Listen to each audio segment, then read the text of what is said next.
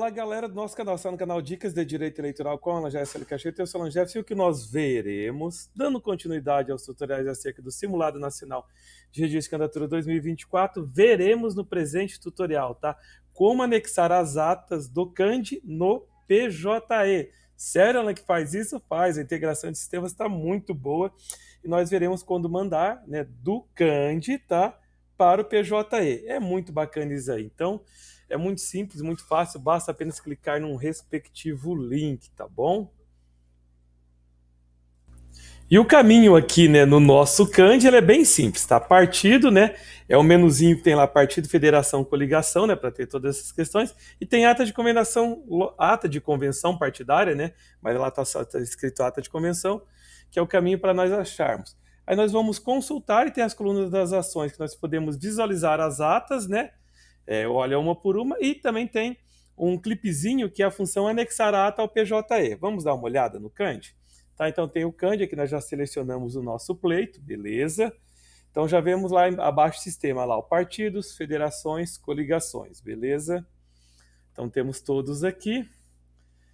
Aqui nós poderíamos é, fazer a seleção ou consultar todos. Vou consultar todos que é o melhor. Então temos aqui as atas criadas, tá? é uma versão simulada, temos atas transmitidas no dia 10 mesmo, tá? E as outras no dia 11. Clico aqui para visualizar. Esse PSD a ata, né, que tem lado de cargo né, de prefeito e vice-prefeito, beleza? A ata em si, lista de candidatos lista de presença. Beleza? Informações, vamos voltar. Vamos ver a segunda aqui, tá? Do MDB, que também fez a questão de estar coligado lá, né? E tá aqui, ó, os dois cargos também em respectiva disputa, beleza? Podemos dar uma olhada aqui, por exemplo, no PL, tá? Que ele tem, nós jogamos ele em dissidências partidárias, tá? Então ele tem uma de prefeito lá coligado e depois tem uma que ele está isolado também e tem a do cargo proporcional, que é de vereadores, beleza? Lá, o cargo de vereador, partido isolado daí, beleza? Então tem aqui a visualização delas. E para nós anexarmos lá no PJE, basta clicar nesse clipe, ó, anexar ata de convenção partidária PJE. Olha lá, ata de convenção anexada com sucesso. Fizemos uma. Tá? Fizemos, vou constar aqui, ó, vou para clicar na segunda, só para sair a mensagem que já estava atualizada, ó. Então a segunda é enviada, aí eu faço lá que a terceira, quarta, quinta, sexta, sétima e a oitava, entendeu? Então, bem simples e fácil, tá? De como anexar é uma função de integração muito, mas muito, muito boa mesmo, tá? Muito fácil, aqui daí nós já fizemos de todas. E o ato seguinte, Elan, agora vamos visualizar as atas nos autos no PJE, tá? Aí lá no PJE, nós vamos verificar a juntada da mesma, né, de cada ata, né, de cada DRAP, tá? Onde é que elas juntam, Alan? No DRAP. DRAP, que é o processo principal para né, os partidos políticos né, que fazem né, os pedidos coletivos dele, seja coletivo pedido coletivo para eleição majoritária, cargo de prefeito e vice-prefeito, seja para pedido coletivo de eleição proporcional, cargo de vereador. E a gente visualiza isso no menu de autos digitais, que é onde a gente folha, né, como se folhasse o processo. Então, estou aqui. Como é um modo simulado, tá para todo mundo, eu estou selecionando a zona 117, você também o faça para o seu respectivo zona eleitoral. Temos aqui, ó, vou ver aqui a analisar petição fusa e elaborar documentos. Aqui tem o primeiro DRAP, que eu coloquei ele na função de elaborar documento.